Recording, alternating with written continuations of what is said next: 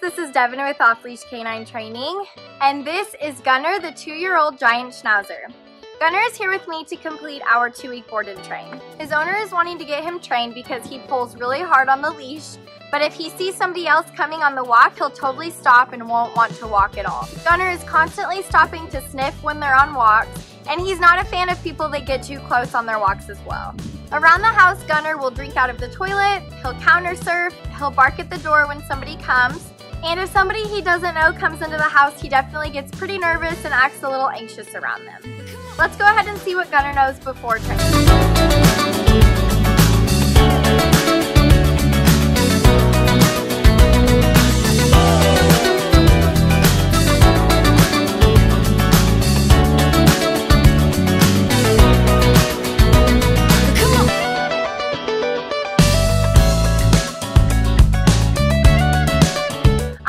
Excited to hang out with Gunner over the next two weeks. The following videos that you're about to see are of his transformation.